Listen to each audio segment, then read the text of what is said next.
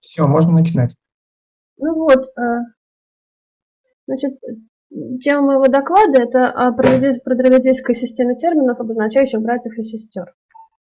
То есть это ну вот, э, диссертации, которая была посвящена в прошлом году, как бы попытка перейти в э, перейти от семантической типологии какой-то попытке восстановить то, что было э, в праязыковом состоянии. Поэтому я буду очень рада комментариям. Прошу прощения за что-то, что неправильно.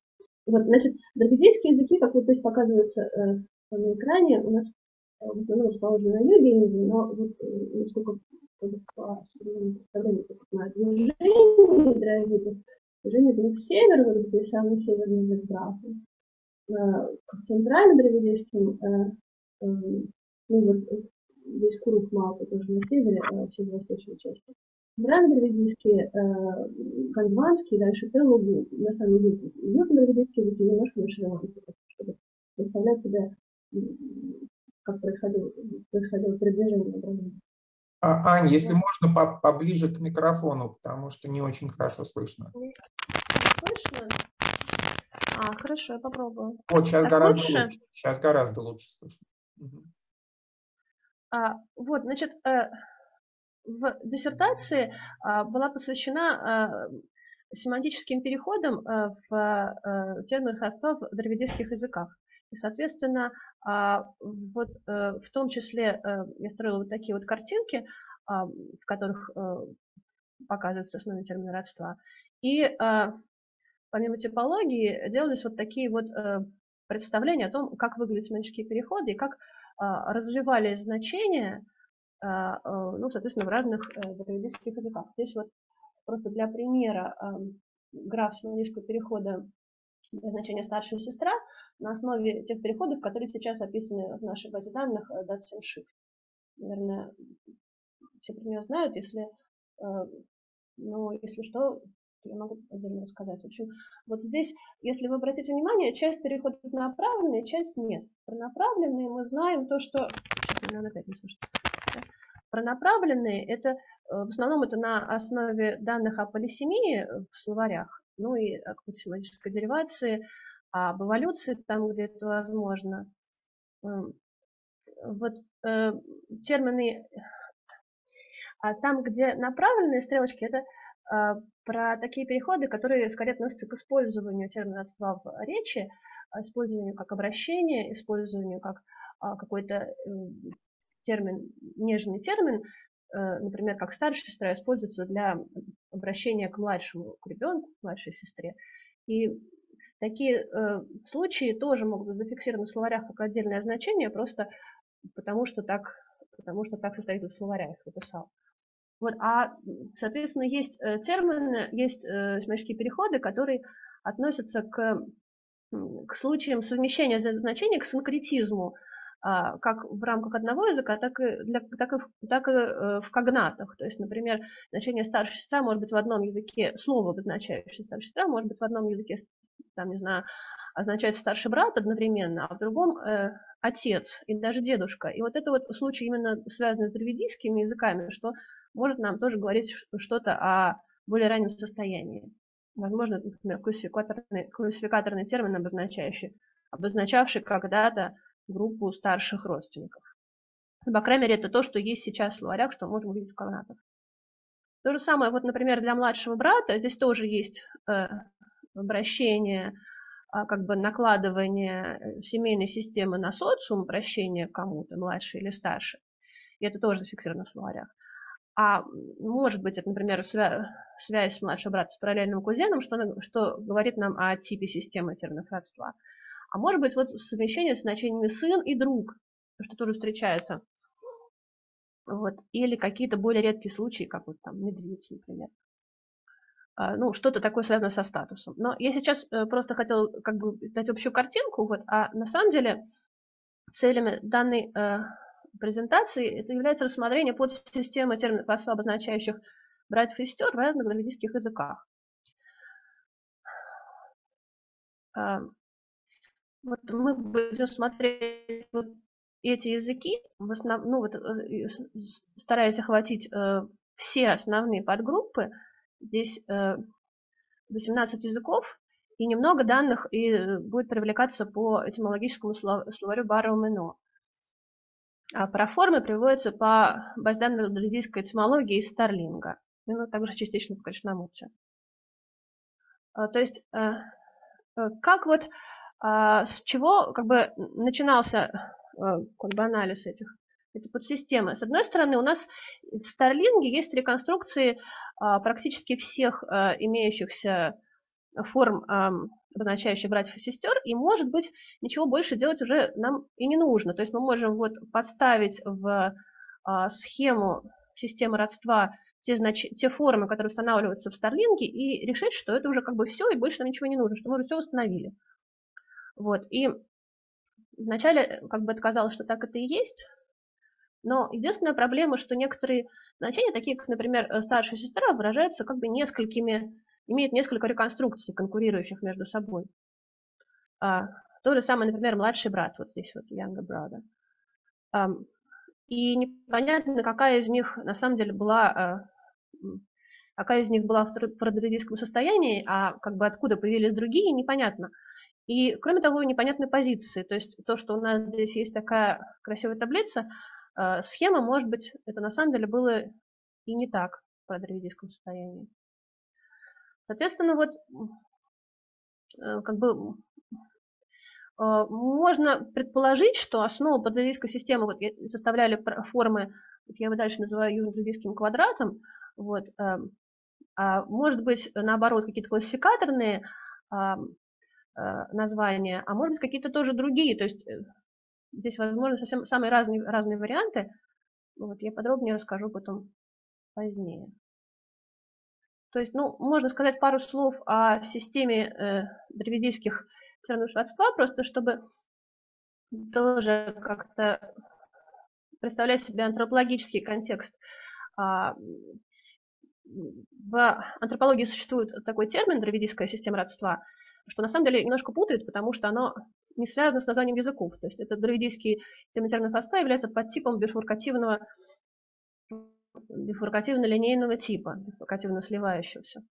А, и они названы так только потому, что первый раз были астропологами встречены в древедийских языках, после этого они встречались в иракесских, этот же тип называется иракесским, и на самом деле как бы это название, ну, не очень, то есть только, в общем, только запутывает, а важно, что является, что основой такой типологии является а, группировка мужских родственников коллатеральных э, линий родства в поколении родителей то есть э, сближение, разделение, э, разделение э, дяди по отцу и по матери, бифуркация, и сближение отца и э, его, соответственно, э, дяди стороны отца, его сиблинга.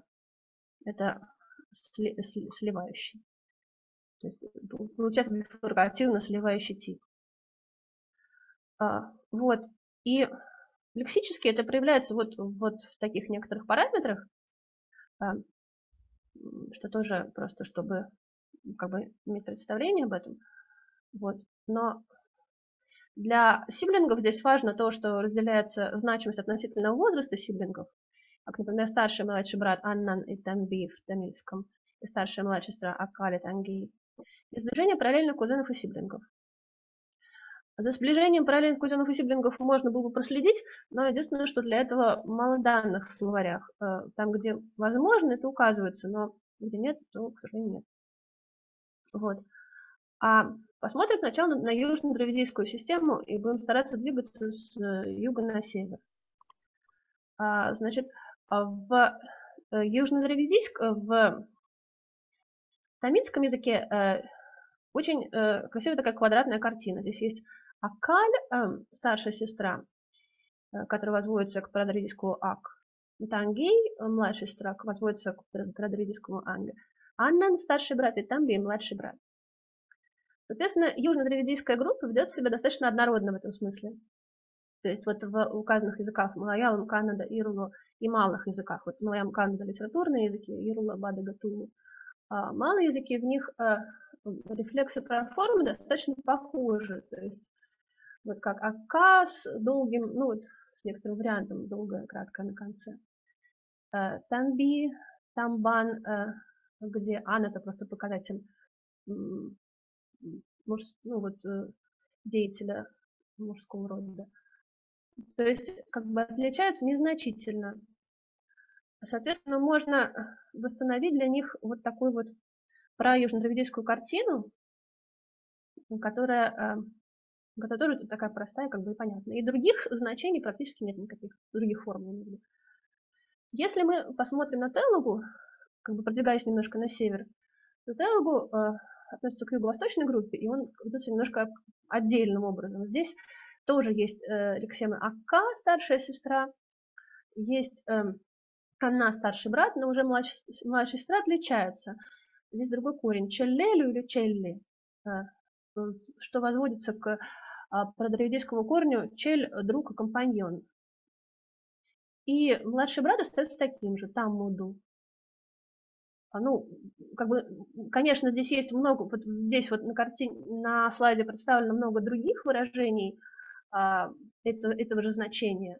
Но я имею в виду именно основные, которые как бы больше, э, которые используются, а не вот большое количество метафорических, которые тоже здесь приведены. Таким образом, в телогу мы можем говорить, что, что мы можем говорить, вероятно, о таких формах, как про телогу Анна, старший брат, Тамби, младший брат, Ака, старшая сестра, и Чель, младшая сестра. А. В гандванской группе э, группа малых языков, которые находятся в том числе под влиянием телугу и соседнего э, индорийского языка ория. Эм, есть много заимствованных элементов. То есть здесь мы видим тоже некоторые похожие, такие как Анги, Танги, младшая сестра, но уже прям почти сразу мы видим заимствование. То есть здесь э, смещаются показатели на вот Бай, старшая сестра, Дада, старший брат, ну и так далее. То есть если вот вести, э, соответственно, а, в, в языках мандапен, то есть дравидийские корни, то э, э, младшая сестра и, и друг, ну, корни, которые реконструируются как друг. Но много заимствован из индорийских языков, как нана, например, зория. И я старалась э, как-то найти источник заимствования. Вот. И ну, вот здесь таблицы, они более-менее все показаны. А, в основном это заимствовано из индорийских языков, которые как бай, брат, да, или старшая сестра, причем и старший брат, нана, старший родственник в индорийских языках. Есть э, вот здесь в центре формы, которые становятся как прадравидийские, а, а есть вот неизвестные, то есть то, что мне не удалось реконструировать, я думаю, что может быть, ну вот поскольку я человек неопытный в реконструкции, может быть, я просто что-то не смогла сделать, может быть, это связано с языками Мунда, которые там рядом тоже есть, и которые тоже как-то могли влиять. То есть вот это вот очень интересный, непонятный кусок. Вот. А дальше мы переходим к центральной друзейской группе. Калами Парджи Гадаба. Я боюсь, чтобы время тратить, я чуть-чуть быстрее посмотрю. То есть здесь у нас есть тоже какое-то количество прадравидийских корней, но других. То есть у нас здесь, ну вот здесь есть Ака бои, тоже из Ака. Потом есть вот до бои, старшая сестра, сохраняется позиция старшинства. Есть Торндаль, младший сестра, из того же корня Тор, друг и младший брат прадравидийского. Но дальше очень много заимствований из андарийских. Вот дадак, например, баи, то же самое. А, тоже в гадаба. А тоже како из э, индорийский корень. Челель э, встречается прадравидийский. И так далее. То здесь такая как бы наложение двух систем. Паржи то же самое чаляль, это тоже к тому же корню чель, э, сестра, компаньон. Толед, тор. А, и вот можно вот так вот, э, такую картинку выстроить, что у нас есть много заимствований дарийских, но в то же время сохраняются некоторые корни, причем другие, то есть не корень, вот как анг, младшей сестры, его здесь нету в принципе, а корень вот чель, причем без оппозиции старшинства. А, перейдя к северно-индийским языкам, посмотрим на язык Малто. А, большинство носителей его владеют также бенгальским языком и сантали, то есть, возможно, влияние индорийских языков Мунда. Здесь у нас есть э, бои, которые восходят старшая сестра к индоарийскому корню, то же самое боя, а, э, до вот, не, непонятного происхождения, младший брат или сестра, который употребляется с показателем не принадлежности. И ну, не нежное название сына или младшего брата. Тоже интересная форма. А в круг э, значение э, то, также выражаются заимствованием, в том числе и индорийскими, опять то же самое Мхая, младшая сестра, Мхая с брат. А, и также э, используются термины с показателем неотчуждаемой принадлежности, такие как Енгдай, моя старшая сестра, Нингдай, ваша старшая сестра – ну, здесь трехчленное представление, мой, твой и ваш, то есть первое, второе, третье лицо. И эти показатели, а, показатели обязательные, то есть вот да, а, как дочь не встречается никак, кроме как с показателем индивидуальной принадлежности. Да, твоя дочь, там, да, его, ее дочь и так далее. И вот на самом деле на, эти, на одной из этих форм, вот на форме тангри, его, ее младшая сестра и тангрис, ее младший брат – в том числе построено как бы представление о том, что э, южно-дравидийские формы на Анг, э, как младшая сестра, встречаются на севере и, и как бы больше имеют э, вес как более продравидийские формы. Но как вот э, я здесь посмотрела, мне кажется, что возможно переразложить форму тангри, она же там, там тангри, вариативность тангди, а, не как происходящую от продравидийского анг, а как, э, как вот э, как сочетание с показателем неотчуждаемой принадлежности, который уже есть танк. То есть, если посмотреть на таблицу показателей неотчуждаемой принадлежности в КУРУ, то они вот э, как раз обязательные и выглядят именно как йен, ну, е с каким-то носовым, ни с каким-то носовым, и танг, там б, и вот это вот все. То есть получается, что что можно анализировать тангди не от э, э, проформы анг, э, обозначающие младшую сестру или младш, младшую сестру или младшего брата, потому что эта форма, форма получается, в круг имеет э, значение того и другого младшего сиблинга. А как танг э, плюс ди или ри, где танг будет показателем принадлежности, а ди ри будет младшей сестрой. И вот про это писал Георгий Сергеевич, в дравидийской работе диссертации про дравидийской реконструкции о том, что D и R могут быть рефлексами более раннего D, то есть как бы здесь их чередование получается эм, такое понятное, ну и показатель тоже понятный. Вот, если будут какие-то комментарии, буду рада. Вот, а, соответственно, я стала смотреть показатели отчуждаемой принадлежности, они вообще еще встречаются в дравидийских языках, то есть, во-первых, они есть в соседнем северо-доревийском Малта, здесь в таком вот виде. Ну, то есть я выписала все формы, которые могла найти. Здесь есть Янгдо, Янгаде, Янгади. А э, с матерью не так понятно, она имеет только часть противопоставлений. А, соответственно, Янгдо, Нингдо и Тангдо. Очень похожие показатели. В старотамильском на основании а, того, что там описано, а, Соответственно, есть янзей, нунзей, танзей, ингай, нунгай, тангай и так далее. А, есть в цилонском диалекте только часть, правда, системы, вот только первое второе лицо. А я, кой я ваш отец, то есть а я, мой отец наш мой отец в принципе отец, и кой я купу ваш отец, соответственно, а, Аннан старший брат, Коннан твой старший брат. И в некоторых диалектах, в тамильском диалекте округа Коньякумари есть Апан и Копан. Дальше Амман и Комман. И в диалекте округа Арманат Хапуром есть Ngопан с носовым и ваш отец, и Ngомма, ваша мать. На самом деле эти округа, они как раз находятся близко к южной конечности Индии, близко к Цейлону, то есть это какие-то промежуточные состояния возможны.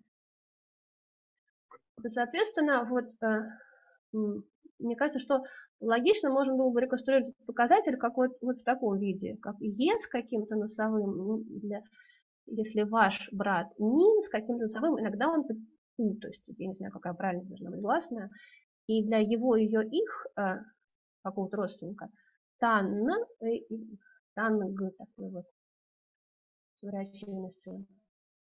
Вот, и тогда у нас получается, что, что, что можно восстановить, что такие показатели были на парадоксическом уровне, тем более, что они встречаются в самых разных а, частях а, ареала, и тогда можно переосмыслить реконструкцию Старлинги. То есть, например, вот там The Younger Brother, а, это как получается, что вот это амб на самом деле может быть э, показателем как раз принадлежности, поскольку мы знаем, что носовые при э, э, действует правило Санхи при сочетании носовых с глухими, глухими губными смычными, и как раз n переходит в m. То есть это вполне могло быть таким просто танг плюс какой-то корень, начинающийся с p, ну, губного.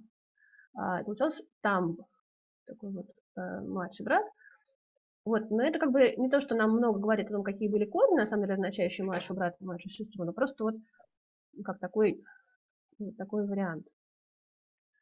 Вот, соответственно, дальше э, самый северный язык Брахуи, в котором э, практически вообще ни, ничего похожего на южно-древлийскую систему нет, то есть никаких корней ни анг, ни ак, ничего такого, и даже нет разделения на младших и старших братьев, хотя есть тут такое отдельное слово, означающее младшего, самого младшего брата, само по себе, без обозначения младшей сестры. И есть две, две системы параллельных. Есть Илюм, брат, и Ив, сестра, которые возводятся а, к продравидийскому Иль Янг, младш, молодой, и автором словаря, и в Старлинге тоже то же самое. И другая пара представлена иранскими корнями Ада, брат, и Адди, сестра, которые, которые э, связаны, имеют биологическое, видимо, происхождение – вот, то есть таким образом получается, что а, в а, системе сиблингов возможно получать какие-то совершенно разные заимствования в древнеиндийских сиблингах. Бывает а, одна система с единичными какими-то заимствованиями, как, например, в тамильском, в Телугу и так далее, где ну, есть какое-то количество не знаю, первый, прежний, древний Урваджа, старшая сестра, или старший брат от слова главный санскритского. То есть какие-то такие красивые, разнообразные варианты, но в основном как бы одна и та же система с единичным заимствованием. При этом возможно существование двух полных параллельных систем, как Браху, когда есть а, пара а, древлийского происхождения и пара белужского, ну, как бы заимствования соседних веков. А, возможно, какие-то сложные варианты. Например, в Каламе есть, а, упоминается термин акабаи, где старшая сестра состоит из двух как сложения. Ака – это корень традицкий, и Баи – корень индоарийское заимствование. Баи. И, и в том числе наложение систем, как в центральноазийских, в основном гандванских, где явно больше двух систем накладываются друг на друга. Вот, ну, какие-то выводы мне это сделать сложно, но возможно, то есть один из вариантов, что действительно это стояло как бы Э, была вот южно-древитийская система, которая, как бы, которую представляет собой архаичное состояние, которую э, южные дравиды несли до самого, как бы, до самой Шри-Ланки, и которые, которая изначально была, но потом пропала в северных языках. Возможно, а, возможно, а, просто формы слабо сохранились, и эти формы, и, и этот как бы южно-дравидийский квадрат, он никак с ними не связан. А старшинство, разделение по старшинству и не было важно, а были какие-то формы, похожие на то, что в, в, Брахуе, как Илум брат, э, или вот то, что в Телогу Чель э, младший товарищ, или в центрально-равидийских Тор э, брат друг. То есть какие-то вот связанные с этими корнями, потому что они тоже встречаются в нескольких языках. Может быть, наиболее ранние формы были обобщенно-классификаторные. Э, то есть, то есть, например, вот как корень, было здесь анк, но в принципе обозначает, может быть, другой корень, обозначающий младшего родственника, брата или сестру. Или вот тоже же ак возводится как старший ухаживающий родственник, сестра или там тетя, или даже дедушка, или что-то такое. То есть, возможно, это какие-то были обобщенные формы. Но пока что, ну вот, не знаю, как можно это понять, если у кого-то какие-то есть мысли, буду очень рада. То есть таким образом мы рассматривали термины особо обозначающие братьев и сестер в древнейских языках, в основных подгрупп. Проанализировали развитие лексических форм с точки зрения их этимологию, возможно, источника заимствования, в том числе рассмотрели форму куру танг, младшая сестра, и показатели неотчуждаемой принадлежности, и, соответственно, ну, что можно позитивно пока не сказать, по-моему, очевидно, что неотчуждаемая принадлежность а, была в парадоидийском состоянии, а что касается, ну вот, самих форм, какими они были, то, наверное, тут нужно, нужно дальнейшее исследование. Вот и все. А, Ань, спасибо большое. А, значит, у нас есть чуть-чуть времени на вопросы. Ну, я тоже начну тут. Э, э, у меня э, два замечания, ну, соображения. А, значит, первое, вот если можно, предыдущий слайд, не, не, не выводы, а который перед ним, а, вот про, про разные сценарии показать, да, гипотеза про дравидейского состояния, нет-нет, вот э, тот, который только что был. А, да, значит, э, мне тут лично все-таки симпатичнее первый вариант, чем э, второй или третий, по той простой причине, что мы же видим некоторые реликты этого южно-дравидейского квадрата в не южно-дравидейских языках. Мы видим их реликты, например, там в Гонде, допустим. А, вот. А, значит, если бы а, у этого состояния, у этого квадратного не было вообще никаких э, следов за пределами южно-дравидейских, то это был бы один разговор, это можно было бы считать их инновацией. А то, что они все-таки где-то обнаруживаются, это скорее, конечно, говорит в пользу того, что это старая система, которая в э, не южно-дравидейских языках под влиянием, возможно, там всяких разных субстратов от более древних до более новых а, разрушалась. Там, например, очень похожая система в дравидийских языках наблюдается с числительными. Да, мы имеем нормальную реконструкцию э, числового ряда от 1 до 10, которая в основном основана на южно-дравидийских языках. Если ты дальше смотришь за пределами южно-дравидийских, ты видишь, что там эта система все время э, заменяется на там какие-нибудь индарийские заимствования, черт знает что, но при этом реликты ее все равно остаются, например, в том же Гонде, да, э, который довольно часто имеет э, изоглоссы в числительных высокого уровня э, с э, южно-дравидийскими языками. Вот, то есть другое дело там вот Курухмалты и Брахуэ, что мы реконструируем на уровне, который включает северно-дравидийские языки, это более сложный разговор. А, но, по крайней мере, на уровне узко-дравидийского, так сказать, без Курухмалта, я думаю, что тут южно-дравидийское состояние вполне может считать архаичным. Вот. А второе – это про, значит, вот это переразложение из Курухмалта э, Ангри убирай, так не это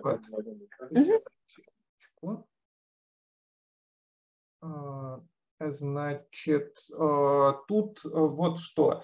Э, действительно, вот там форму тангри в Курухмалта, ее, конечно, напрашивается разложить на танг плюс ри или ди по той простой причине, что мы хорошо знаем, что в Курух э, местоимение тан Э, третьего лица, ну или там рефлексив, допустим, сам, э, оно имеет косвенную основу танг. Вот. И э, это просто совершенно можно анализировать как прозрачная э, основа сложения такого рода. Но выносить это на какой-то более древний уровень, например, тампи э, общедравидийское пытаться переразложить на танг плюс пи, это немножко, тут мы путаем уровни, потому что эта штука, э, насколько я помню, э, специфическая именно для Курух Малта. А там, общедравидийское состояние, то, что у нас просто есть тан э, как прямая основа и тан с кратким а как косвенная основа. Значит, никакого носового там ничего дополнительного там, э, там у нас нет, поэтому танк не э, восстанавливается. Но правда можно думать, что этот тан э, ассимилируется просто в там, Но а тогда что мы будем делать с формами типа а, там «ая» мать э, с неотчуждаемой принадлежностью «тая». Она же не «таная», вот, она именно Да, «тая». То да. есть э, э, это, я думаю, что все-таки маловероятно, и, и вряд, ли, вряд ли мы эту реконструкцию тамп э, превратим э, в просто корень «п» э, старый, э, исходный. Вот. И главное тут не смешивать явления разных уровней, потому что в Курух Малта там могут быть уже какие-то дополнительные изменения, а, исходящие из того, как эта местоименная система трансформировалась в, собственно, Курух Малта. Потому что там, э, вот, например, это Г, которое добавляется к основе, это чисто Курух-Малтовский элемент. Я не помню, откуда она. А, Может быть, это там стяжение с каким-нибудь окончанием дательного падежа или что-нибудь в этом роде э, старым, ну, типа к, ку, да, э, общий Э, похоже. вот, а, но это, значит, местная, локальная штука. А, Соответственно, вот переразложение на уровне Курухмалта нравится, а переразложение на уровне общедревидийского не очень. Можно ответить, да? Да, конечно. Ну, спасибо очень большое за комментарий. Вот. А, ну, да, я действительно как в этом смысле человек, пришедший из семантической типологии, то есть со стороны, я действительно не понимаю, какие уровни могут быть а, показывать более архаичное состояние, и, может быть, действительно вот этот южно-дравидийский а, а, комплекс, он является более архаичным, то есть э, я тогда буду смотреть подробнее это все. Спасибо большое за комментарий. Вот. А насчет, насчет э, курух э, э, та, э, танг, э, мне тоже казалось, что действительно здесь с курух тут такая история, что надо понимать, где, что они очень регулярны. То есть действительно вот эти формы, они сейчас показаны на экране, они настолько регулярны, что похожи на какое-то более новое, более новое что-то вот специфичное для этого языка. Ну, конечно, потому что вот э, там нингьо мать, ну это просто, значит, в курух будет там именительный падеж нин, косвенные основы образуются от основы нинг, да, э, и, соответственно, мать у нас тоже нинг. Это похоже на э, инновативное образование непосредственно в курух, а не унаследованное от общедравидийского. Ну, похоже, но с другой стороны, это, например, могло быть наложение на как бы систему неотчуждаемых, неотчуждаемых принадлежностей, которая была ранее, просто ну, это пере, переосмысление, это ее, так сказать, обновление, обновление системы под влиянием уже текущей морфологии в Куру. Да. Как бы ну, сам есть, принцип например, остается сказать... тот же, а непосредственно то, как выглядит основа, обновляется, перестраивается по аналогии тем, как местоименная система выглядит уже в современном языке. Да, то есть, ну, то есть, да, я, бы, я тоже так думаю. Но вот здесь получается, что мы тоже видим похожую систему в соседнем, то есть тоже есть тангдо. И, ну, наверное, хорошо было бы посмотреть, если это в соседних неродственных языках, чтобы понимать. Ну, аналогично оно, да. Точно так же оно и в тамильском обновляется, да, потому что вот там формы с нун, например, там нун, кай, младшая сестра и так далее, они, по-видимому, инновативные должны быть, потому что э, вообще вот это у, появляющееся в основе второго э, лица, это какая-то, по-моему, чисто тамильская фишка, которой больше нигде нет, и не очень понятно, откуда она вообще берется. Да, да, да. Вот, вряд это... ли она архаичная. Я когда-то Значит, думал, что она может быть архаичной, но как-то я передумал с тех пор, потому что действительно нигде ее подтверждения в других э, языках нету. Ясно. Ну, если можно, я еще вот все-таки вот обращу внимание, мне кажется, вот насчет архаичности показателя танк, вот у нас есть тамби в старотамильском, а есть нунби, унби, емби. То есть здесь тоже, на самом деле, может быть какое-то восстановление вот этого корня П на какой-то более ранний уровень. А, потому что ну, тут просто сли, слияние, слияние э, с местоименными основами. Вот. MP, ну как, это, соответственно, может быть просто из там э, э, ан, EAMP старого, да? Вот. Может быть. Нет, почему EAMP? EAMP просто. AMP. Да, корень же AMP. Значит, E, которое само по себе из Я старого, да, я, я MP сливается в MP нормально. Угу. Да, такое. Хорошо, спасибо. Еще есть вопросы какие-нибудь? А можно вопрос? У меня э, да. маленький вопрос.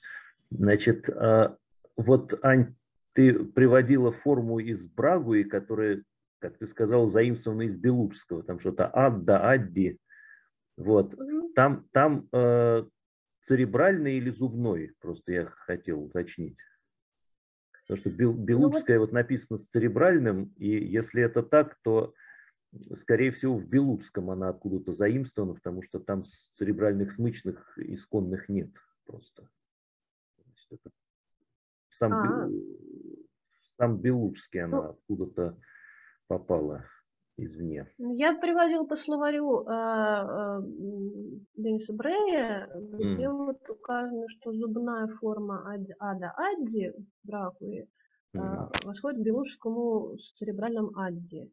Понятно, да. Ну, то есть это похоже на заимствование в самом Белуджском, просто не могу так сходу э, сказать. Да, но вряд ли это заимствование в Белуджске из Браху. Это обычно все-таки Браху и заимствует э, у Белуджей.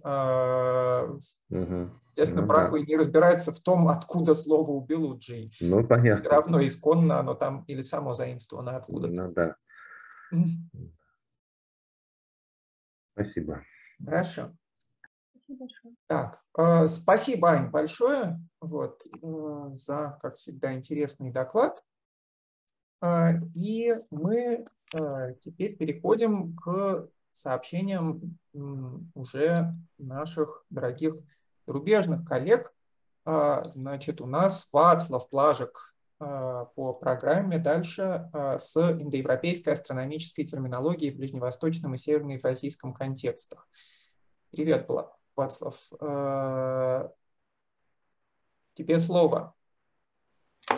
Да-да, э, э, но что сделать с моим докладом? Я хотел его перевести в экран, но не получается? Не, не удалось. Есть у тебя текст моего доклада? А, это вот то, что ты присылал. Да-да-да. Э, да, сейчас, одну секунду, я его найду. Так. Это будет наилучшее. Да, хорошо, сейчас. Э, так. А, вот in the European astronomical terminology in the Near Eastern точно, точно так. Context. Хорошо, сейчас одну секунду, я его сам тогда расширю. Так.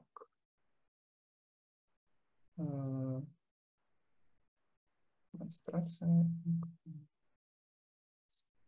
Вот этот, да? Отлично, отлично. Сейчас я сделаю полный экран, одну секундочку. А, а, нет, так нехорошо, потому что это будет мелко. Сейчас. А, Тогда лучше так. вот так. И... Я буду...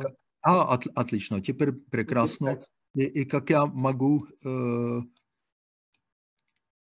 А, да, ну, да. ты говори какие, говори, какие страницы надо показывать. И, э... Первую. Хорошо. Но ниже, немножко ниже. Угу. Да, да. Еще, еще. это уже идет вторая. Еще, еще немножко ниже. Солнце? Да, да, солнце. Э, в моем докладе я э, хочу э, проанализировать astronomickую терминологию индоевропейских языков на основе внутренней этимологии i to, že na osnove dnešního srovnenia v areálnom i genetickém pláně. První termín je to slunce. Название Солнца вообще почти во всех группах индоевропейских языков это notoricky знакомо. Я budu говорить только o случаях, которые обыкновенно не объявляются в источниках, сравнительных или этимологических словарях. Пожалуйста, к армянскому, Гушка. Да.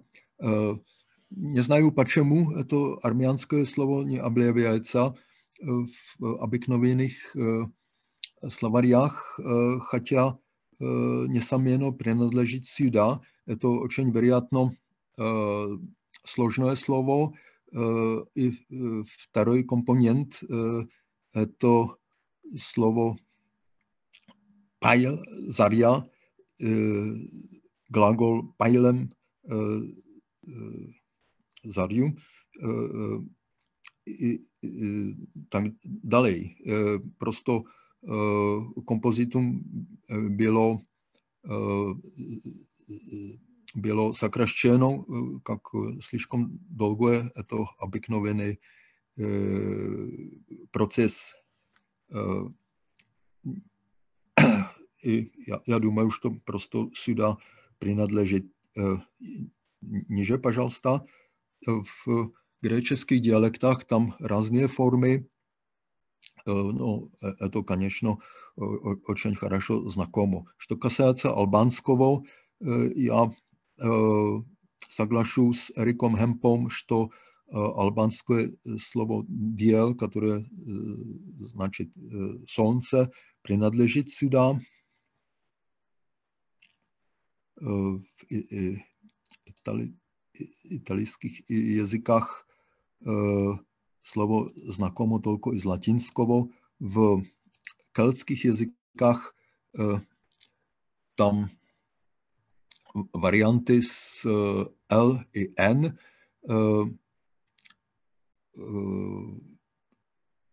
Vapros nad drevně irianským slovom svil, glas, по разным авторам это принадлежит сюда по метафоре, хотя более часто семантическое развитие обратно. Ну, знакомо даже из индоевропейского, например, армянское арегакен – это солнце плюс глаз. Если это действительно первоначально Солнце, в том случае в конце дуал, окончание дуала, которое типично для глаза и не, не для Солнца. Например, Освальд Семерень объяснял это слово от индоевропейского глагольного корня секв – смотреть. Ниже, пожалуйста. В keltských jazykách v městě formy s finálním L i finálním N v korni. To, že известно из германских языков тоже. Даже в одном, о том же языке, как готский, формы из L и N, и, конечно, не только из готского, древне северского тоже. В балтских языках там только формы из L, что касается славянских, там в одной и той же основе формы L и N. Это, конечно, очень интересно. В Тохарском только дериват uh, uh, ray of light. Uh, я, я хочу немножко более сказать о возможных континуантах в анатолийской группе. Henry Stark думал о принадлежности лувейского слова šachoval lamp sюда что это вrdhy derivácia, но современные этимологи объясняют это слово от по-другому. И собственné checké slovo для самца, to zaimstvováno i z chatského jazyka, v chatskom eštan ili aštan, to byl, byl slunce ili slnečný god, slnečný bok. No, eh, děstitelné, ili eh, no, eh, slovo dle Sanca, verjatno za sumerogramom utu s komplementom, fonetickým komplementom lia. Jan Puhvel doplnil to, jak Savelia чтобы была корреспонденция с протогреческим Havelios. Но я думаю, что более надежным ekvivalentom checky teonim Šuvalias.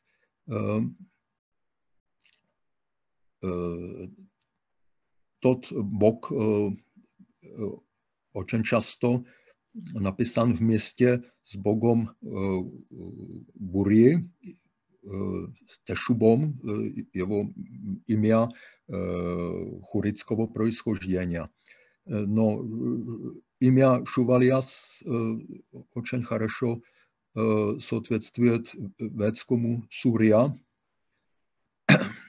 Что касается деривационного суффикса «ия», как греческий «helios», это просто очень надежное искать здесь потерянное слово для солнца. Что касается этимологии, пожалуйста, там две концепции. Обыкновена, которая идет к Эмилу Бенвенисту, это heteroklitičská основа s karňom sech i v nominativě forma na ul, i v kosvených paděžách when. И это возможно сказать, что это коммунист опинио.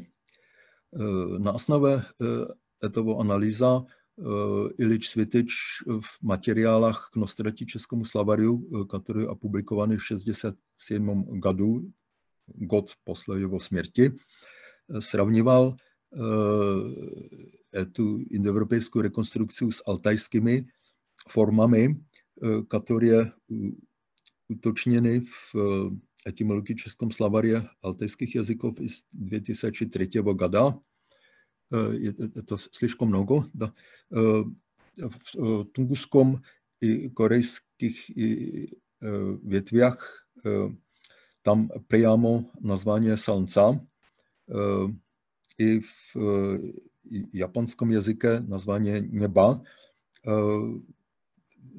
которые соответствуют корневой реконструкции индоевропейского солнца Сех po našim znáním fonetických korespondencí mezi indoevropejským i protoaltajským je to absolutně regulárno. No, существует тоже другая точка зрения, другая ностратическая точка зрения, kolik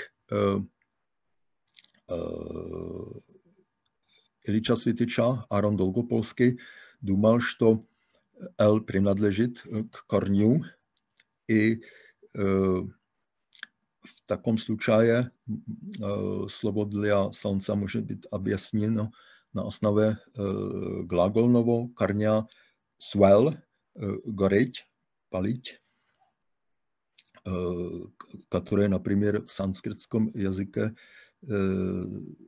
известно как глагол сварати, Svarga, eh, prosto što kasáce semantiky je to eh, absolutno v pariatke. I eh, Dolgopolsky našel interesně vněšně sotvectvia v afrazejskom, točno skazať v berberskom, kde, kde izvěstno slovo s značeniami deň ili Eh, denní svět, eh, no to, že eh, slunce, jak v kabelském jazyce i v guančskom jazyce i z kanarských ostrovů.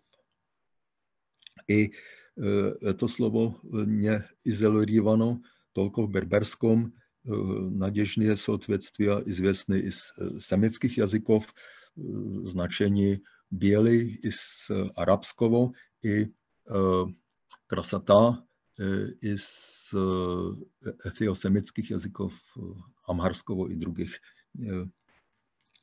А, это, это здесь нет, но нет проблемы. Что касается... Ниже, пожалуйста. Да. Что касается других названий солнца, интересно, армянское слово Arev и в сложном слове Aregakan, о котором я уже говорил, солнце, глаз.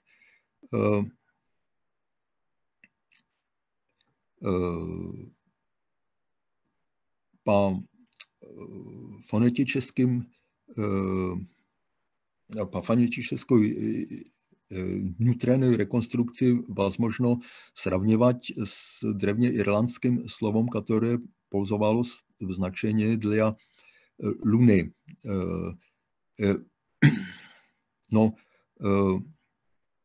probléma v semantike, što abyknoveno prvonačelná semantika toho irlandského slova je to interval, vremení interval.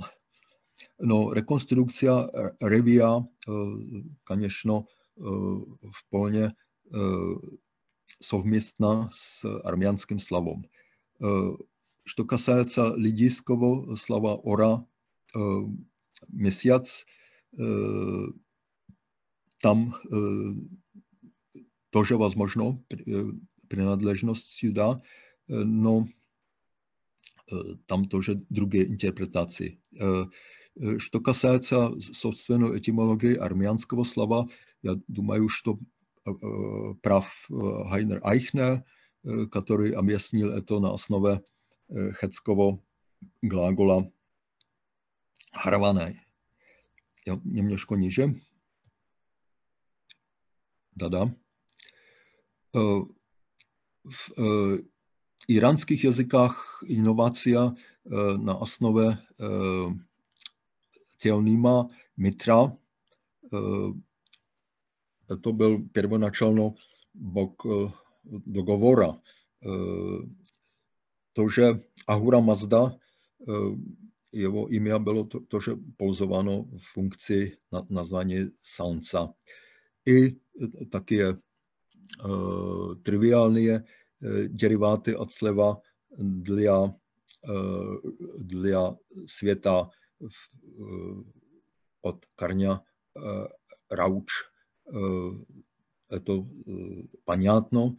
I существует тоже deriváty od slova теплый, горячий. Все это, конечно, принадлежит к самцу. Ниже, пожалуйста. Еще надо сказать, что, конечно, в анатолийских языках существовало собственное слово для самца, но оно возникло от слова для в значении день, первоначально небо или свет. Просто это семантическая инновация. Так, пожалуйста, ниже. Теперь месяц. Опять все эти формы очень хорошо известны. пожалуйста, ниже. Армянск, в армянском интересно, что первоначальное «а» объяснимо из сложного слова, где первый компонент «am» – «год». Это koncepcia Birgit Olsen, po mojemu мнению, правильна, и она показывает даже для, для по моему мнению, хорошей интерпретации всего слова. В греческих диалектах это слово тоже хорошо известно. Внутренняя реконструкция понятна. Существует большая надежда, что это слово известно тоже в фригийском языке. Я здесь пользуюсь интерпретацией Саши Льбоцкого. Это глоса Madzeus, Zeus para Frixi u Hesychia i вероятно это сложное слово mas deos месячный год, месячный бог, пожалуйста. Takže ниже. V albánskom хорошо известно в итальянских языках, не только в латинском, тоже в других итальянских языках, в кельтских языках, даже в галийском языке из каленdáře из Kolini. Это слово известно во всех германских языках. Пожалуйста, ниже. В балтских языках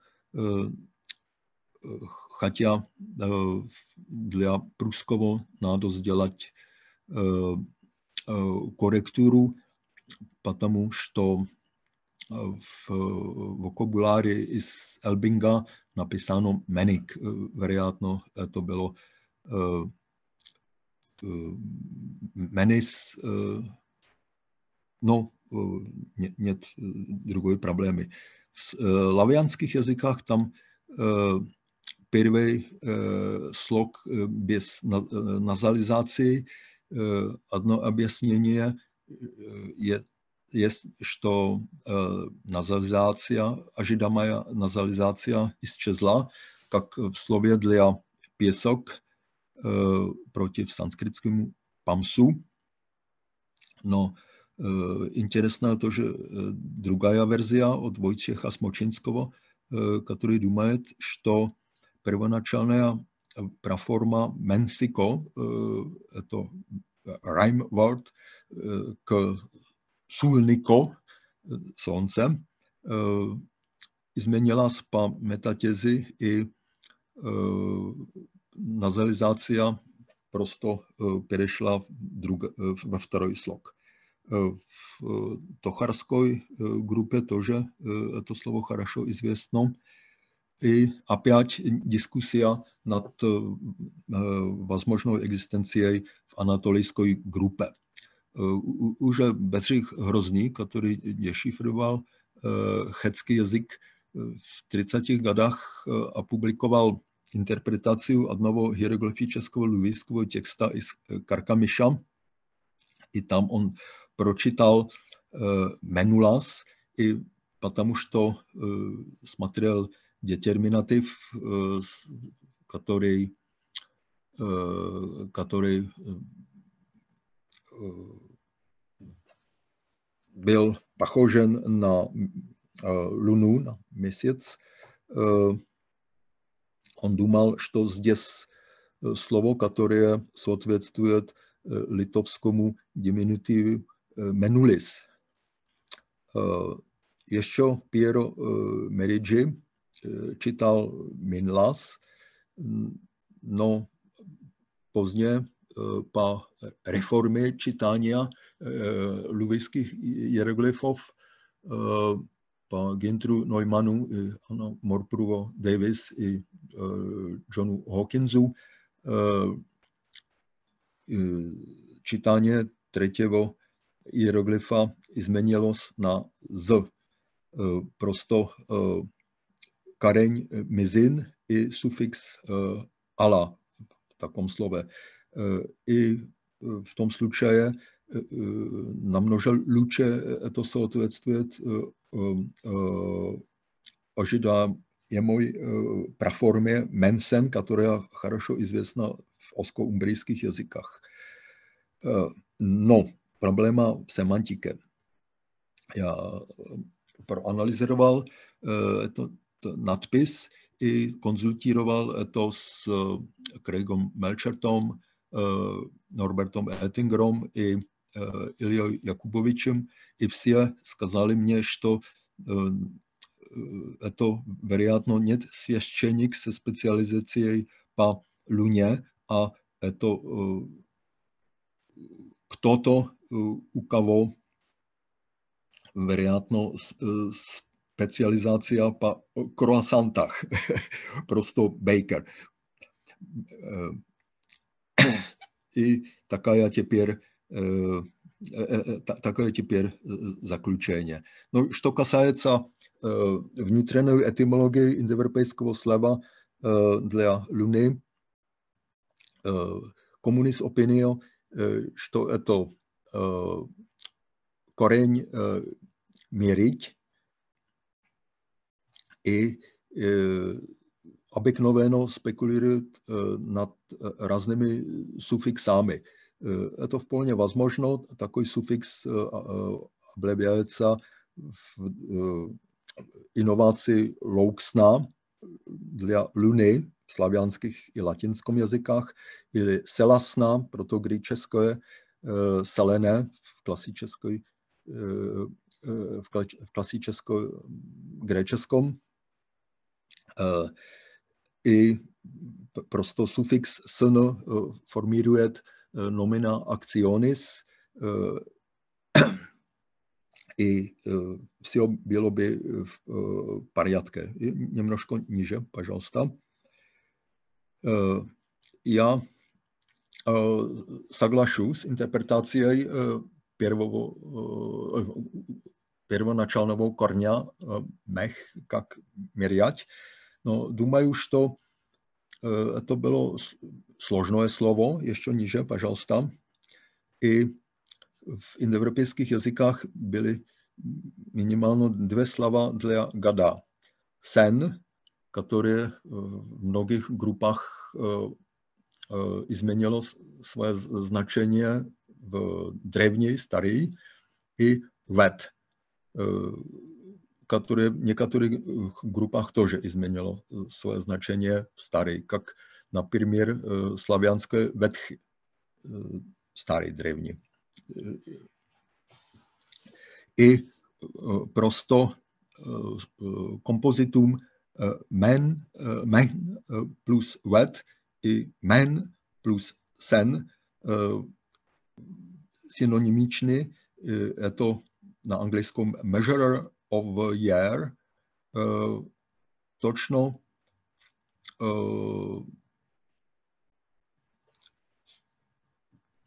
to, točno reprezentují, što bylo нужно сказать о Луне, что меряет время, время года.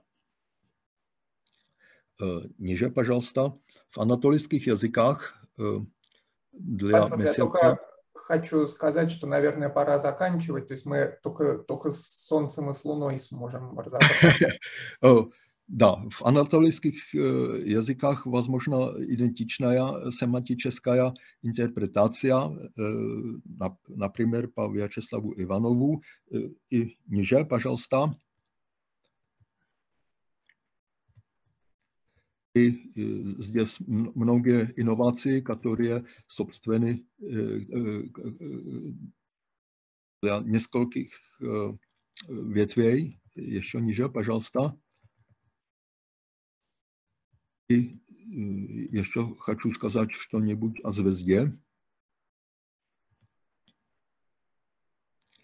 Ну, только очень кратко, потому что да, да, да. буквально за пару минут. Slovo dla zvezdy известно опять v mnogých větvách, neizvěstno v slavianskom, no izvěstno v anatolijskom, v checkom jazyke. I опять об этом слове большая дискуссия. Существует мнение, что это nomen agentis od корня hes, горять, палить, no, já думаю, что древние не знали, что звезды горячие. И я предпочитаю объяснение о замствовании из Semickovo, которое сделал уже Zimmer v начале 20. věka i akceptírovali Ilič Svitič ili Gamkrelidze s Ivanovým. Здесь семитské formy, které действительно v některých случаях означают утреную звезду. И такое развитие от утренней звезды Зори до звезды известно даже в славянских языках. Например, в белорусском языке Зоря i ukrajinskom jazyce je to prosto zvezda. No, v druhých slavianských jazykách je to utrená zvezda. I v južnoslavianských jazykách tam zornica je to zvezda od этого же корня. И поэтому я думаю, что, что такое объяснение вполне в порядке. И на этой же основе я объясняю албанское слово для звезды. Ниже, пожалуйста. Я думаю, что это дериват от корня heus с ларингальным 2 в позднеиндоевропейском aus. Отсюда название тройной звезды, Aurora, например, i eh, i zvěstny eh, L-deriváty v mnohých indoeuropejských eh, grupách, je tomu opět plasemantike utrené zvezda, zvezda, objasnimo to, že albánské slovo, které tolko sleduje etuže matí českou darogu, jak более общее слово для звезды. И здесь еще алтайские параллели из общетюркского названия звезды с тунгусской параллелой, с которой я вполне соглашу. Это все. Полный текст будет доступен. Да? Да, конечно. Угу. А, хорошо, спасибо большое, Вацлав. Мы очень сильно пересидели, но если у кого-то есть одно-два кратких соображения по докладу, то можно задать вопрос, наверное. Или напишите мне, пожалуйста. Да, или напишите Вацлаву. А, так, вроде никто не поднимает руку. Тогда хорошо, спасибо большое, Вацлав. Значит, полный текст э, просто будет... Э, я, кстати, могу его, в принципе, сгрузить в чат сейчас всем, чтобы все сразу могли скачать, но потом будет вывешен вместе с э, тезисами конференции. Так, спасибо. Да, спасибо большое. И э, тогда у нас э, последний доклад в сессии. Это Александр Лубоцкий про название мастей лошадей в иранских языках. Саша, здрасте, очень рад вас видеть. Здравствуйте, Гоша. И приветствовать на нашей конференции, наконец. Так что Пожалуйста, вам слово. Сейчас, одну секундочку, я его а... найду. Так. Можно расширить экран? Да, сейчас сделаем. М? Да, сейчас. Эм... Вот, да, все видно. Угу. Все видно. Сделать полный экран или так хорошо? Как вам удобнее? По-моему, так нормально. Ну, прекрасно. Я, если можно, только буду э, говорить по-английски, просто как-то я все под, подготовил по-английски, но... Э, да, конечно, конечно. Если, свободно... если будут вопросы, все. Да, Хорошо. Окей. Okay. Um, uh, dear uh, colleagues and friends, uh, what I am uh, trying to do today is to speak about a rather rare situation where we as linguists uh, have to react to the geneticists. Um, normally it is the other way around. The geneticists uh, tell us what we already knew a uh, very long time ago. But uh, here we have actually a new um, reality, which um, has arisen because of genetic studies of the uh, horses, of all uh, horses, um, the extant domesticated breeds. And it turns out that uh, all these uh, horses go back to one type, and not only just one type, but the one which is found in Sintashta. And uh, Sintashta is um, uh, archaeological culture in southern Transurals, and um, we knew it as the one uh, with the first battle chariot in the world, but now it turns out that it also the homeland of the modern horse, which is quite spectacular actually, uh, but not unexpected because uh, the uh, it only makes sense to make a light battle chariot if you have a horse which you can uh, harness in front of it. And uh, for Indo-Europeanists, it's quite interesting because um, according to communist opinion, uh, Sintashta culture is the uh, the people who live there. They spoke something like Proto-Indo-Iranian at around 2000 BC.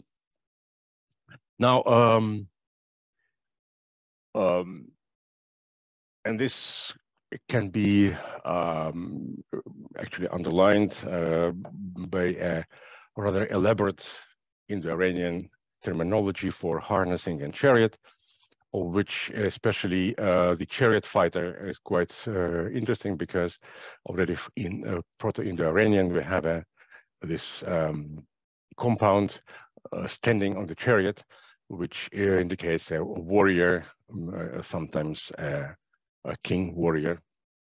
So uh, it shows you that we, in, in, the Iranian, indeed, they had a um, battle chariot, and there's also elaborate um, terminology for uh, various uh, bridles and uh, so on. Now, um, if we have a very successful result of domestication in 2000 BC, um, it uh, must have preceded by a very long period of domestication. And the question is, where could that happen? In uh, when we look at um, the um, uh, genetic um, uh, studies of the uh, last uh, couple of years, uh, they show that um, people in the Sintashta uh, culture, they um, must have come uh, from uh, the corded ware culture, somewhere from Europe. So the uh, now we think that uh, they um, didn't go directly from the steppes to uh, to the uh, to, by crossing the Urals, but uh, first making a detour in Europe and going through Fatyanova and Abashova cultures, and uh, especially the um, uh, interesting the possible connection with the Balto-Slavic, uh, the, the, the movement of the Balto-Slavic peoples, which would indicate that maybe uh, the uh, the beginning of their journey uh, was actually together with uh, Baltoslavs and maybe also with some other uh, Satem uh, languages. So um, uh, what uh, are uh, the, the possibilities? for instance, if you just assume with um, Thomas Hollander that there was actually a common node of Indo-Iranian and Proto-Balto-Slavic, uh, something which he calls um, Indo-Slavic. Uh, and if there was uh, something like this, uh, we can probably date it something by uh, the end or of the yeah beginning of, of the third millennium BC. And um, one of my PhD students is working on uh, his dissertation on this Indo-Slavic uh, hypothesis, especially in the field of, of vocabulary, common vocabulary. So um, the question uh, is, can we find uh, something in Indo-Slavic which would indicate um, a common uh, vocabulary for uh, horses or for domestication? And especially one word, which already was mentioned by Cronin, is, is supplementary information to this genetic uh, paper. Uh, one word is extremely uh, interesting. and this is the uh, word which is in Sanskrit sura, which is uh, alcoholic drink, uh, small beer made of rice of other grain. And in Iranian, it is the word for kumis all over the place in all Iranian languages. And uh, if we look at Indo-Iranian, it's quite clear that we probably, yeah, we have to assume that uh, the kumis must be original meaning and the uh, small beer of Sanskrit, a kind of a substitution of the uh, kumis when they uh, entered into the mountains, then um, of course uh, they didn't have that many horses. Uh, and in, um, in, in the Baltic, we have a word for uh, either curdled milk in uh, Old Prussian or uh, birch asap in uh, Lithuanian. So um, I would say that uh, the chances are quite um, um, serious that this was an Indo-Slavic word for kumis, and maybe it, is better uh, etymologically to analyze it as from sul plus air from the word for to eat and drink in uh, uh, in Iranian especially, which would actually indicate that Indo-Slavic uh, had already a word for kumis and that they could milk uh, horses, which um, is quite an uh, interesting uh, suggestion, which is uh, somehow find um, correlation in the uh, paleoproteomics, um, uh, rather new, no. new um, uh, way of studying in the in the dental calculus of um, people. they have discovered uh, milk peptides from uh, from horses. And at this moment, there are only two uh, individuals found here in this in, in this Kriviansky number nine. But it is also in the beginning of the third millennium, so it could be um, you could indicate that uh, uh, they could milk uh, horses, and these horses were already that docile that it can be milked.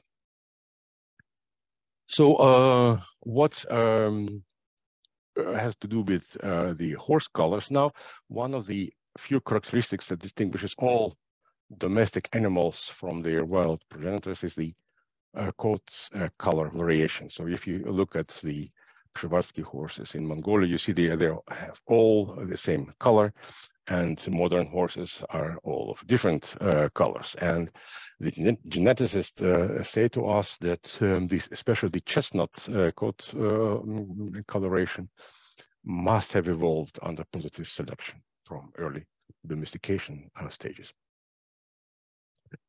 So uh, from the uh, uh, the question from the geneticist and archaeologist is actually if we interpret these um, ideas in linguistic terms, uh, so the prediction would be that there are no uh, common equine coat colors in Proto-Indo-European, maybe a few uh, coat colors in Indo-Slavic, and then more elaborate coat color vocabulary in Indo-Iranian. And this indeed uh, turns out to be uh, correct. And this is what I'm going to do uh, now. So the uh, the challenges uh, are uh, severe because the color terms are not really evident and it is not really easy to, to, to know exactly what they um, they mean, especially in old uh, it is often argued that the old Indo-European languages were more concerned with brightness, so bright, dark, than than hue, which exactly it is. We'll see it later. Uh, we don't expect uh, so-called pure chromonyms like dun or chestnut, which are only especially uh, used for, for horses. And um, uh, the old texts are difficult because um, it, requires a lot of philology, and we'll see a couple of examples just in a moment. So these are the caveats. Um, so what did I uh, uh, do for, for, this presentation? I looked at early Vedic and uh, Avestan in Old Persian for Iranian and also in personal names, especially in also in the Nebenüberlieferung. And, um, and I have not looked at Middle Iranian, for instance, something which may be done in the future. And uh, I, what I used uh, as criteria is that uh, I accept uh, this uh, the term to be Indo-Iranian only if you have it both in Sanskrit and Iranian, or if it is found only in Sanskrit and Iranian plus plus um, elsewhere, which of course then uh, gives you a chance that it was also just lost in one of these branches. Um, in uh, in this table of uh, Kronen, uh, which I already mentioned, he gives nine Indo-Iranian uh, code chrononyms. There, of these nine, um, I think that five do not qualify, uh, and if, if, for yeah, because of my uh, criteria, and uh, and he missed a couple. So um, let's now look what we have. So we start with um, uh, Hari in, in Sanskrit and Zairi in um, Western. Um, and we have uh, in the Sanskrit very uh, normal uh, um, indication of, of a color of a horse. And we have also in um, in uh, Iranian names uh, Zaryasp of Zarasp uh, in Armenian borrowing. And um, so it is um, perfectly uh, okay to reconstruct as a, a horse color for Indo-Iranian, but which uh, when Hari refers to a horse, Geldner uh, translated with falbe, and Jameson and Brereton translated with fellow bay, which actually doesn't exist in English. It is their own uh, coinage. And if you uh, uh Google it, uh, the Google refers you to, to the translation actually only. So uh, what does it really mean? Uh, in, in English, you have a distinction between two uh, types. One is a bay and uh, sorrel or chestnut. And the, uh, the bay is uh, here above. It must have um, black mane and black um, tail, and also usually a, a black lower legs. And sorrel or chestnut has no red, no uh, black at all. So you have this distinction. And the question is, can we decide uh, which is this Hari in um, in Sanskrit? In, in Iranian, of course, you don't know because you only have this name. Um, and there's one important uh, passage in the Rigveda where uh, the uh, call a horse a Hari and with a golden mane. So, um, which means that it is not a bay horse because bay horse has always a black mane. So, uh, in um, at least in in the, in Jameson's uh, um, uh, translation, it uh, just contradicts you in Germany. So, you cannot have a bay with a golden mane. So, uh, Hari is a chestnut. So, it's quite important that um, this, this, chestnut coloration was already um, known in, in the Iranian. Another word is Harusha, middle range also in Sanskrit is Arusha, but it is uh, reddish and it is, is, a color of um, of the uh, horse of, of, of the fire. Um, and um, used also next to, to Hari, so it is also the um, ruddy um, uh, red-brown color. But in um, Iranian, it is a word for white, quite uh, surprisingly. Uh, and this is, uh, shows you that the brightness was important, not so much uh, red or white, but the whether it was bright or, or dark. And we have the exactly the opposite um, situation with Sanskrit Shukra, which is bright and white, or especially Shukla with the L variant, which is white. And in Iranian, it is Tsukhra, which is word for red. So exactly the, the mirrored image of this situation here. Um, and uh, if you look at the etymology, the further etymology, it is um, usually uh, connected to the word uh, elo, which is um, in uh, Germanic languages, is in German, elwa, um, and um, but not of horses. It is uh, it is only for for sheep and sometimes for cows, but not for horses. And um, so we have um, usually it is analyzed as aru plus sha, suffix uh, sa, next to haru na. And uh, if this is uh, correct, then we have maybe in um, Indo-European a color, but uh, only used for horses in Indo-Iranian. Next one is uh, Parusha, which uh, in Sanskrit never used uh, for horses. It is uh, especially for um, uh, kine, uh, cows, and indicated something like a dirty color, some some uh, vague color, um, grayish, um, yellowish.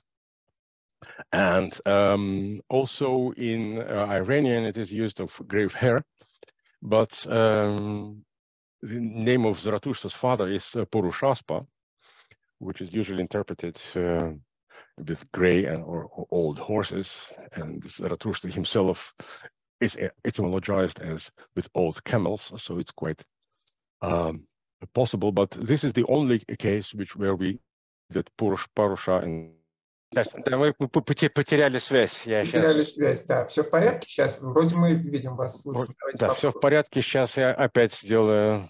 Угу. Um... Так, куда он делся? Я его...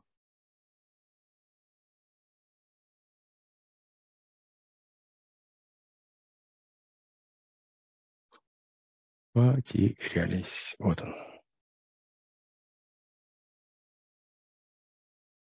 Угу. Есть? Да, да, все хорошо. Все, вот, вот. Uh, so we have uh, this uh, polo war uh, in Baltic Slavic on a large scale. In Germanic, uh, very um, uh, rare, but it's also used once or twice for horses. Um, probably something of your pony. So you see here one of one of those.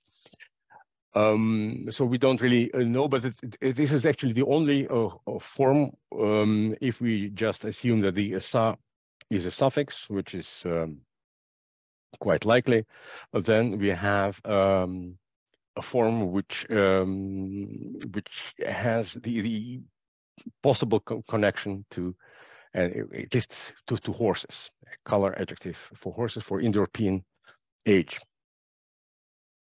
So uh, this is uh, possible. So we have this Palvas, we have a Paro then in, in Indo-Iranian from Pelo plus plus So important is that we also have some traces in Iranian forms without the so suffix. We have this in, in Khwarezmian um, Paru and the word for, for mouse, which is something also grayish and then we have a, a Greek and so on. So the the the root is quite well well spread in, in the European, but uh, so there are some ch uh, chances that uh, if you have this u uh, adjective, uh, it could indicate a horse color in Indo-European. We move uh, quickly um, further. We have uh, in, the, Iranian word uh, Bratna, uh, only in Sanskrit, which is a, a name of a sun a horse. And in Slavic, we have Bron, which is a white horse. So again, red and white um, together. So uh, the question here is, is we have a, a etymological uh, problem because if we reconstruct Brodno, it's quite possible then we have no further cognates. Another solution would be that Slavic was a, a loan word from Iranian, although we don't have the Iranian cognate. And then we can connect it with this uh, blend and the word for um, to, to, blend, to blind. Uh, this is the Indo-European uh, word, which would be uh, uh an option. But then we only have uh, this uh, form in Indo-Iranian and not in Slavic. So these are the options. Um, then we have a word for white, not really very spectacular, but um, still, uh, so we move on um, because of time. Uh, uh, and this one is quite interesting because um, in uh, uh, word for uh, uh, this Shiava in, in Sanskrit, usually translated as something like dark brown, brown. Um, and we have uh, also the names in, in Shyavarshan in, in uh, Western and black horses. And um, um, so uh, the the and it is clearly and this Shiavi is uh, the uh, the horse of the night. So the question is, what kind of um, horse is it? And um, if we again um, look at the passages where we can decide what it is, uh, there's one uh, very interesting passage where we find like a dusky horse with pearls. And what is a dusky horse with pearls? And this is the uh, the uh, the night. So it is clearly uh, a night with uh, stars on it, and uh, this is the dapple gray. Yeah, the uh, Seraya в яблоках, as it's called in, in, in Russian, and um, so this dark gray uh, horse. And it is also um, the exact uh, parallel in Balto-Slavic, where we also have a gray uh, color, Sili and, and Shibas in Lithuanian. Uh, this uh, adjective is also known from Germanic, but uh, which is not used for, for horses. Um, well, there are some some uh, problems with the full grade uh, versus zero grades uh, in this form. Let me skip this. And the last one is word for uh, silvery, uh, white uh, horse, the horse of the wind. And um, interesting thing here is that it also means quick. And in Greek, we have this uh, word probably too, if we assume that argos is from argros. And um, what we see um, here is that uh, it is um, in uh, Greek, it also means uh, quick, uh, with quick uh, feet, argi. And um, um, what is here interesting is that the, the meaning white and silvery, um, both in uh, Indo-Iranian and in Greek, uh, means also quick. So there was a semantic change, which must be uh, reasonably old. So um, let's now uh, put all this into a, a scheme. What we see here, uh, blue is, is uh, adjectives which are used for, for horses and the orange, uh, which is used only uh, for horses. And what you see here, we have altogether uh, seven uh, adjectives, which we can um, reconstruct for Indo-Iranian um, chromonyms for, for horses. And only one uh, has chances to be uh, older, so it is the um, the, the first one is Parusha, which is also found without the suffix uh, sa in um, in Germanic with this with this meaning. And um, my uh, guess would be that this is just the color of the horses. So it is the uh, also the uh, color of the wild uh, horses. So uh, something which we saw on this slide with the Przeworski uh, horses. And we have one um, form, this is Shiava and Shivas for Indo-Slavic possible.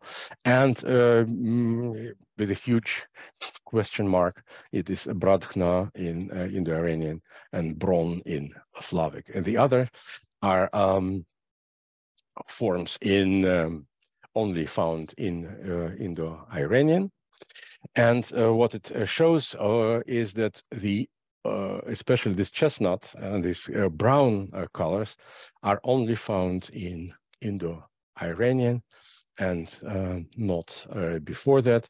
So these are the conclusions. The pelu possibly refer to the coat color of wild horses, and the best candidates for Indo-Slavic are words for gray and dapple gray, and brown is only Indo-Iranian.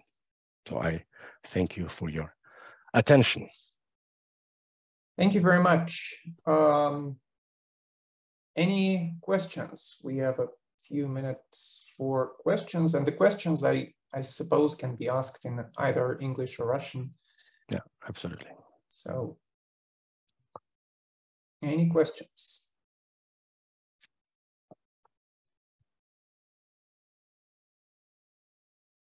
No questions. Um, okay. Well, then uh, uh, my only um, observation here is that apparently the Indo-Slavic branch also agrees with uh, our own classification that we had in a uh, joint paper on uh, Indo-European classification based on uh, based on reconstruction of uh, specific items for the Swadesh word list. Um, but of course, we didn't have any uh, color terms for horses because they're clearly not on the Swadesh word is there. But this is, um, I think that uh, most of the conclusions in your talk sort of very, very well agree with that particular scheme, do they not?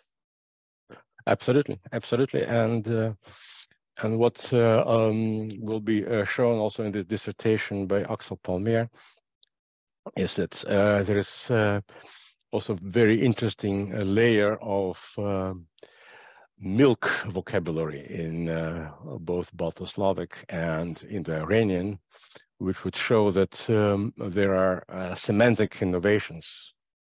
They, they started to, to drink milk probably mm-hmm. they were able to to drink milk uh, um, so the lactose intolerance was somehow or one and and a whole series of of words uh, were uh, are common so it's quite uh, quite maybe it was a rather short period of of common innovations uh, but but still quite significant Mm -hmm. But are, are these words of Indo-European origin or are they common innovations from unknown sources?